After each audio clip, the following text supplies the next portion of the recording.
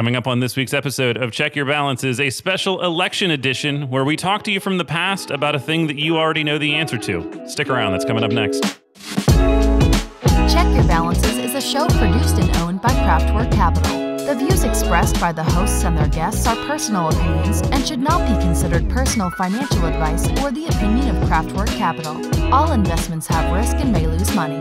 Consult with your financial advisor, tax preparer, or attorney prior to implementing anything discussed, and please do not use this show as the sole basis for financial decisions.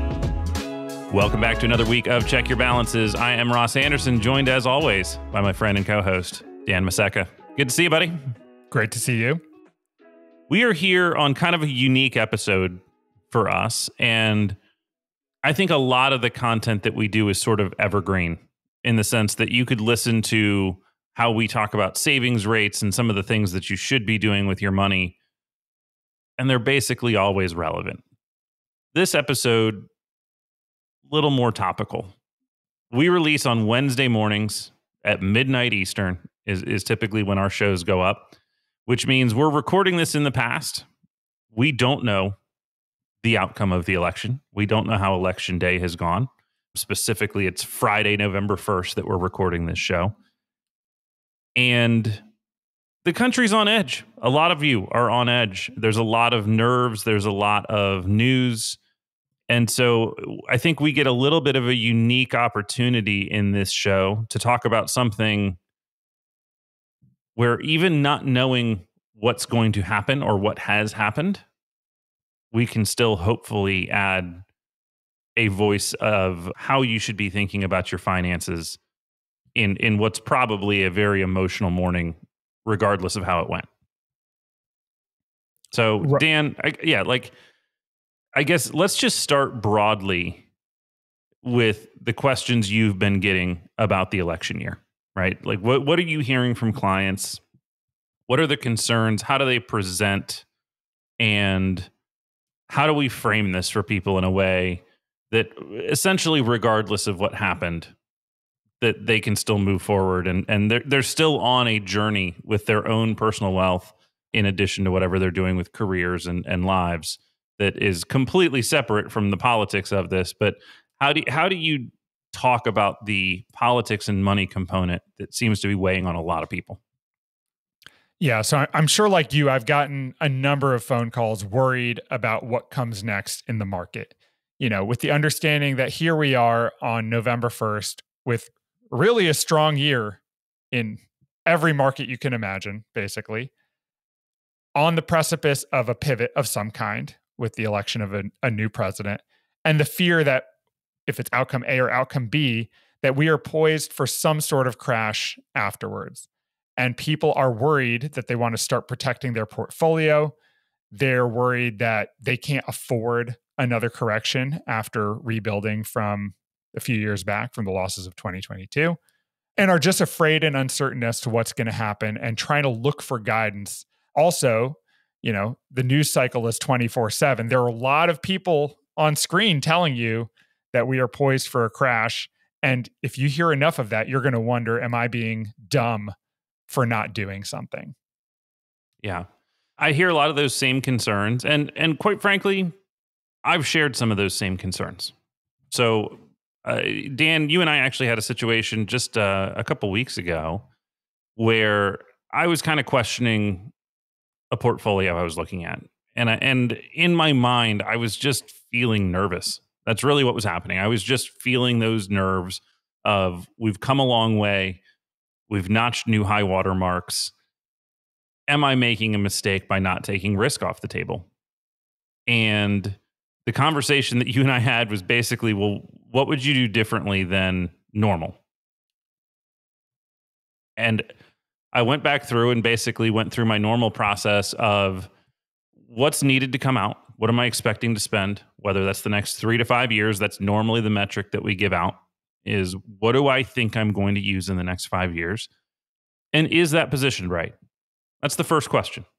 So if you're in retirement, if you're approaching retirement, if that's going to be in the next few years for you, regardless of whether the election outcome has you optimistic or not, I think that's step one. right? Is how do we align the money? How do we align our portfolio with our lives? We don't want our lives being affected by our portfolios. We want our portfolios to be able, be able to enable the lives that we want. It's a tool, not a response mechanism.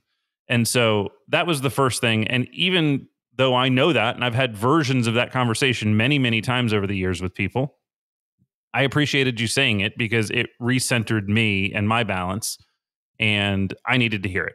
And that's my favorite way to give permission for something you're already inclined to do, by the way. So that's the value of having a plan. If you say, I'm worried, I'm too exposed to equities, to take a step back and say, okay, what should my exposure to equities be? And if the result is that you are overexposed relative to what a normal plan would tell you to do, congratulations. Now you get to validate that feeling by doing something that you could do in any other year and still have felt good about it. So I think when we can reframe the question in the context of your plan with what do I need? What am I afraid of? How can this be addressed reasonably? Everybody wins right? I, I, love that. And that's the value of having a plan, whether it's related to your portfolio or even just spending. I went through a conversation the other day with someone who was looking to buy a car and they asked, Can I afford this? And we just looked at their plan and said, All right, how much did we say we had to have in cash? How much do you need to be saving? We checked all the boxes and they had a surplus. It made it really easy to say, Actually, yeah, we're ahead of schedule here. You have the flexibility to put this much towards a car with it not derailing us at all. So I love being able to look at something and say, here's the answer for us. We've already planned for this. This is what we can do. Yeah. That's that's the best case scenario. I mean, to to bring it back to the political landscape for just a second, one of my favorite charts, um, and the one that I actually normally see the most gets credited, and it's actually a Motley Fool branded chart, but it's basically the S and P 500 performance by presidential term. Now, some of these terms are eight years, some of them are four years. And so this is not an apples to apples chart, but it basically says depending on which party or which president was in office, it's color coded between red and blue. How many of these eh, administrations did we make money? There's only two negative administrations on the list. Only two going back to 1957. The first one was Richard Nixon in the early 70s. And the second one was George W. Bush in the 01 to 2009 timeframe, which had both the tail end of the dot com crash as well as the 2008 financial crisis inside that same window. So every other presidential term has made money in the stock market. Now, whether it's been boom times or bust times or, or you know, less exciting times, I should say, yes, there, there's differences. I think a lot more of that is driven by the economic environment than by the president. Like there are things that I think specifically Congress can do. I don't think it's as much the president that affects the economy. Like there are things that are big parts of the GDP that come into the legislative process. How much the government spends and what they spend it on is a big part of our economy, right? So I don't I don't want to strip out this conversation to make it so simple to say it doesn't matter. Because it does actually. What the what the US government does at a policy level matters. What we pay in taxes matters. What we pay on service to our debt matters, right? So all of those things do matter and and this is not ever with the intent to be dismissive of how much people care about it and at the same time, you're a little bit at the mercy of a lot of things you can't control, right? Your control lever is your vote. I hope everybody went out and voted yesterday and that you exercised that because I think that's the most important thing. I I often believe if you didn't vote, you shouldn't get to complain.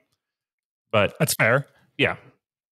that's I don't get to enforce that either, but like that tends to be my baseline is if you if you didn't at least get up the energy to go cast your vote, whether you're in a state that you think it matters or not. But I do think that that's important.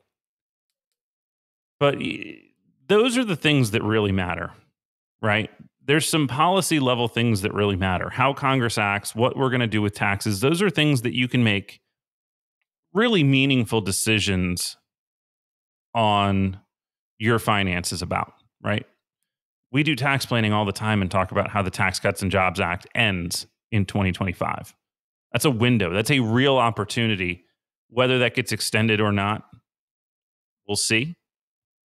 Obviously, that will have an impact on who is in office, uh, both at the congressional and, and presidential level. But to me, that's the stuff that matters more than kind of the tone and the rhetoric and some of the grandstanding that we see. Right. I, I agree as well. And, you know, the market is driven by people's feelings. And somehow, despite a lot of people being on edge, we're on the precipice of a great year in the market. In fact, most years in a presidential election, we've had positive market returns. Over 80% of the time, the market has been positive in an election year, which is every election cycle people are are on edge. This isn't new. Now the details of it change every time. We're dealing with new things every decade. But, you know, there have been what seem like singular events in the past. There have been crazy things going on in the backdrop of almost every election cycle. Yet somehow the market has notched really positive returns actually a more frequent clip than you would expect to happen. I think we calculated over 80% of years of a presidential election since 1928 have been positive. Where if we think that three out of every four years in the market are positive, that's 75%. Yeah. Yeah. And I think the I think over like the last 96 years, it's like 74% of years. And so it's just a hair off of, you know, a, a losing year one in every four. But it's important to remember that that's not necessarily cyclical. It's not one out of four. It's not that we go one, two, three down, one, two, three down, one, two. Like that's not what we get. That if if we got that, everybody would be able to recognize that pattern, and we would all be market timing geniuses because we would know after three years of positive returns, you would just exit and wait for your day. Like that's just not how it works.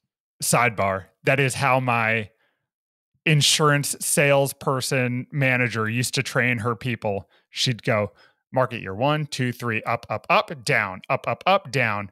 And we were in the third year of a bull market. And she would go up, up, up. And she's like, now you tell the person buying insurance what happens next. And you make them say down, and then you sell them the annuity. It was so terrible. So here, here are the things that do worry me a little bit. Let, us talk about kind of just what expectation setting should be. And I've seen Goldman's come out with kind of a, a fairly muted or, or uh, pr- pretty ugly view for equities over like the next decade. Um, and and that is the type of stuff that I worry about because I think this is more relevant to somebody that's dealing with their money today. Over the last decade, we've essentially seen 13% annual returns. We know that if you spread out the length of time that you measure the S&P 500, I'm just talking about the S&P. If we spread that out, we typically see 8 to 10% as our metric, right? And so if if over a 20 year time period, 8% was what we should expect, and we just got 13% annualized, then what that means is the next 10 aren't going to be as good. Right? That would mean if if the next if if we're in a 20 year window that has 8% returns, we just had 13, the implied return rate for the next 10 years is 3% annually. That's kind of a scary thought. If we're doing I'm doing the math right now while I'm doing this. If the annualized return rate was 10%, over the 20 year period that we are smack dab in the middle of, then your next 10 years should be a 7% return. So if you're thinking that equities should get a 3 to 7% nominal return rate over the next decade, I do think that's a lot more modest than most people are in their planning. And that's a real concern. That's not necessarily political. But I do think if you're if you're looking at the world going, where are you going to allocate your money? That becomes interesting to me. It does, but you did say a keyword that we're talking about the S&P 500 there. So I think the last decade has harshly punished people with diversified portfolios And that just means that you need to stick to your guns going forward because you can't look backwards and say, well, that's all trash, right? We're investing in a global economy. There is value in global markets to be had. The US large cap economy has seen dramatic growth. And perhaps that means that going forward, we're going to see other areas of the market do most of the heavy lifting. So I think, again, going back to your original plan is valuable. Bonds have been not very exciting for a long time. And recently, surprise, there's value to bonds. So if you stuck to your guns again and maintained a bond allocation, I mean, some bonds are up double digit percentages over the last year. You know, you can have yields in bonds that are smack dab in the middle of that equity range that you just cited. So it's it's important to revisit your allocation too and there you can have a productive you know criticism of your portfolio and see if there's anything you need to do going forward because it's very easy to have a narrow focus view of the world and the investing world people tend to have a home country bias and i think a lot of times that's fair but there are other markets and other opportunities for investing I agree. I, I, appreciate you saying that. I think the international markets are a particularly interesting spot to be looking right now and to be saying, hey, is there value outside of our borders? The other thing is, if you believe what I just said, and again, I'm not trying to predict doom and gloom, I'm just trying to understand the math and keep it in context, right? A 10 year treasury today, you're getting 4.35. You're getting almost 5% risk free today if you want to lock that in. So if your view is that equities aren't going to do anything for the next decade, there are options where you can lock in risk free returns. The only reason that would be a horrific investment would be as if inflation is not actually under control.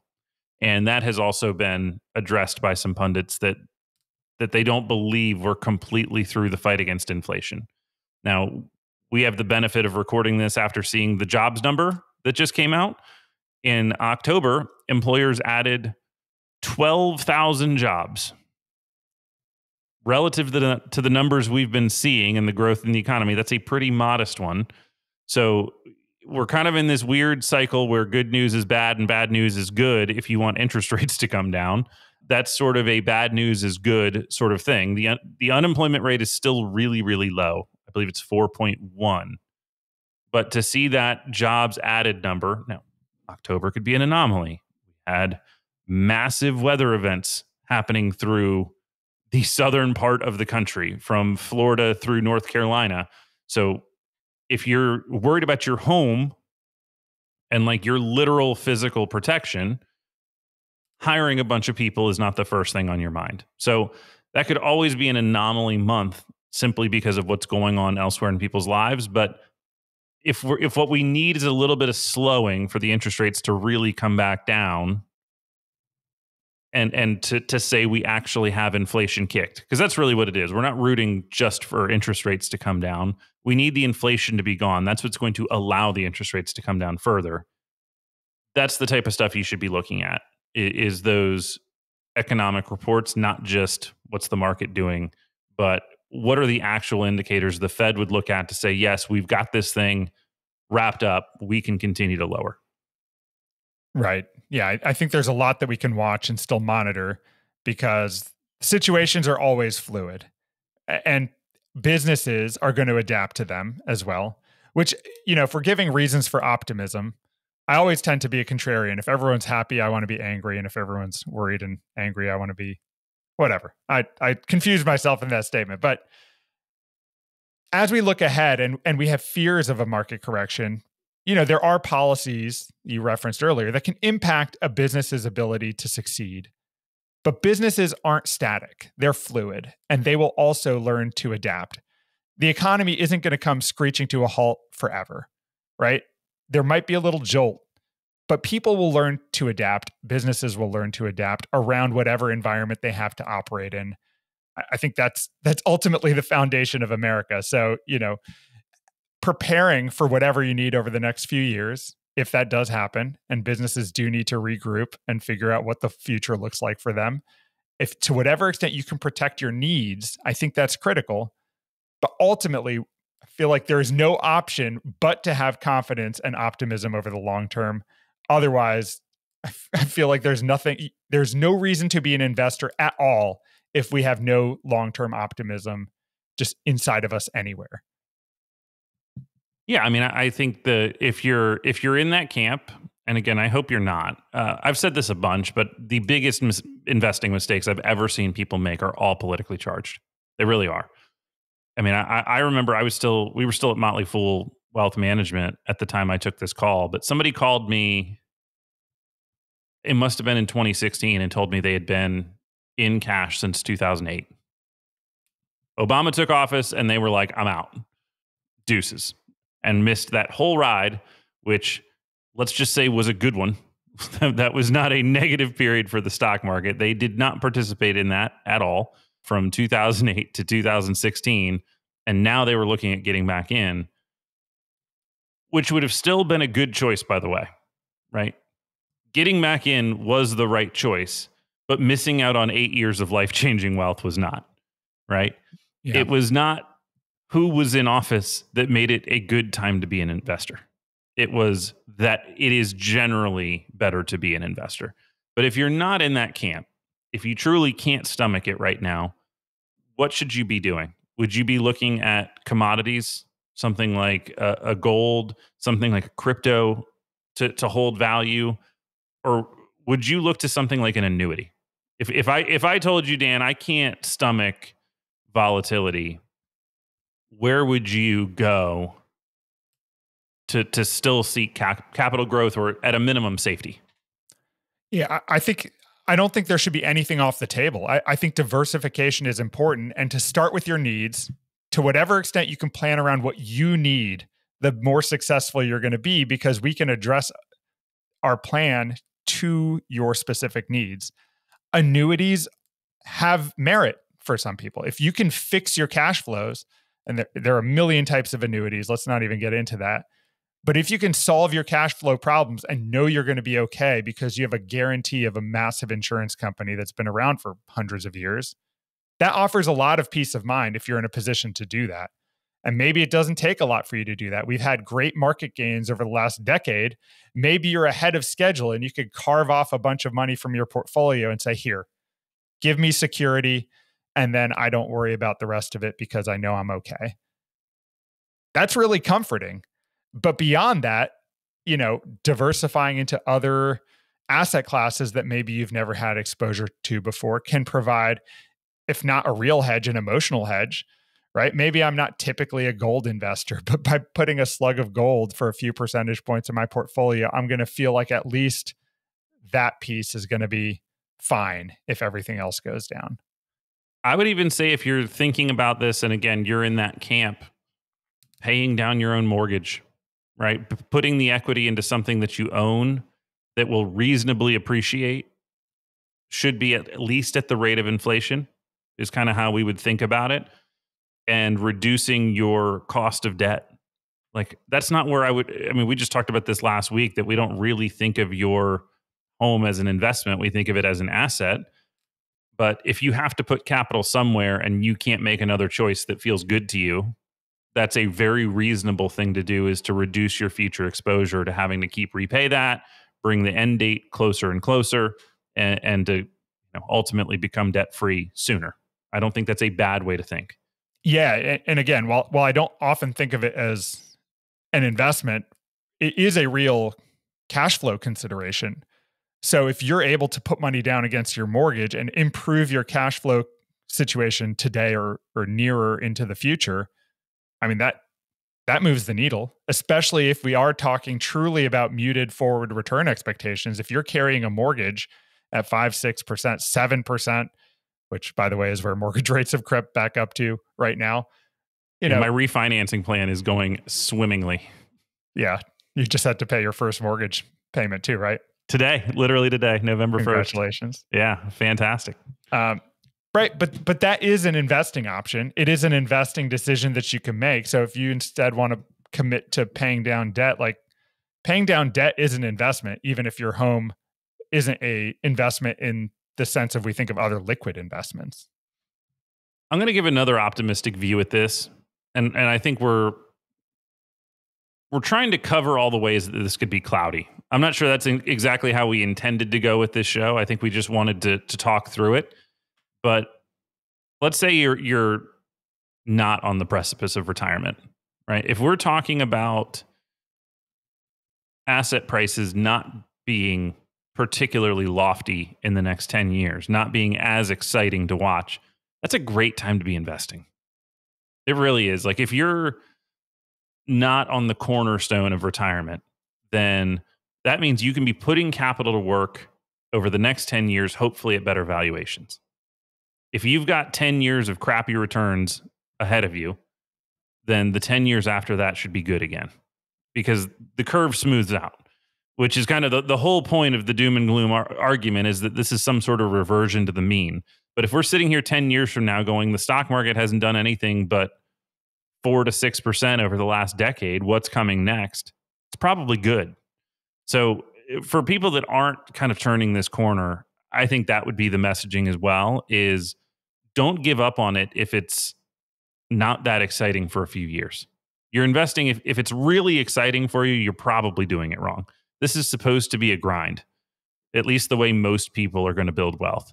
So I think if you're if you're a saver right now, if you're an investor, a younger investor for sure, maybe that means the next 10 years are your opportunity to build life-changing wealth. And and that the next run up, you're going to have a heck of a lot more capital involved in it and you're going to be the beneficiary of it.